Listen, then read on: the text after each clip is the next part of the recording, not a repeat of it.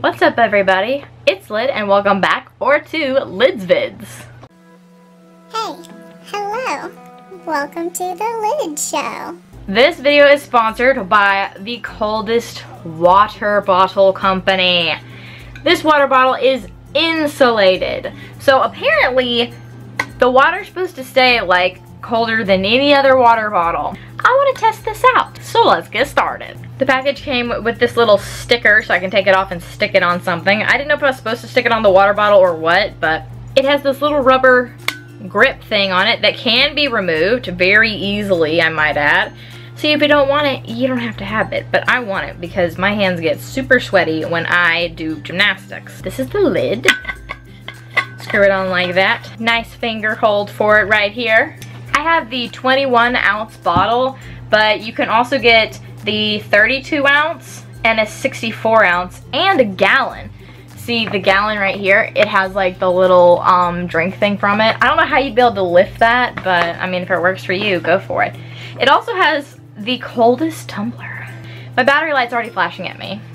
So this company is all about building products that they're proud of, that they love, and that they're gonna use every day.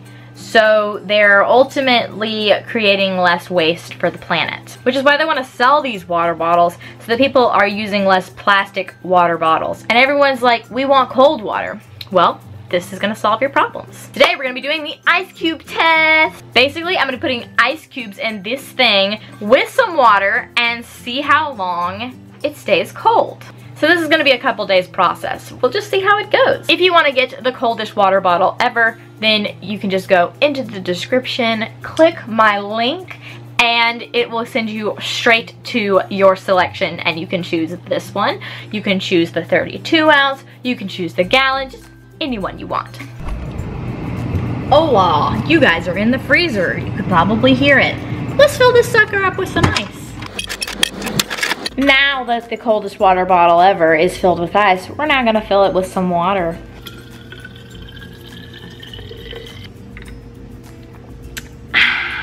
Make sure to like this video if you've made it this far and comment the secret word in the comment section down below. The secret word is on my Instagram at lydsta.gram. Hi guys, so we're sanding floors at my house, which is why I'm outside because it's too loud inside. That's Ralphie, by the way. But going back to the coldest water bottle ever, the link is in my description if you guys want to go check it out for yourself. I am an ambassador, which means I get like compensation if you use my link, so, you know, go ahead for that. Let's see if it's still cold. It literally has not changed. Like, I'm not even lying. It has not changed from what it was before. So, a couple days ago, I put ice in this water bottle, and it was, I mean, like, it's cold because it's ice. Duh. And then I was like, I'm gonna let it sit. So I think it's been like three days since the last time, and the ice melted, okay? No more ice. But I was like, it's probably still cold, right? This is insulated. It says it literally right here on the bottle. It's insulated, which means it should be cold, right? And it hasn't changed at all. It's still cold. And it's like 90 degrees outside, so this tastes amazing. That got me thinking, what if it was put out in the sun for a while? So, I'm gonna set it out in my yard in the sun and do like some handstands and stuff and see if it gets any warmer while it's just out in the blazing heat. So let's try this.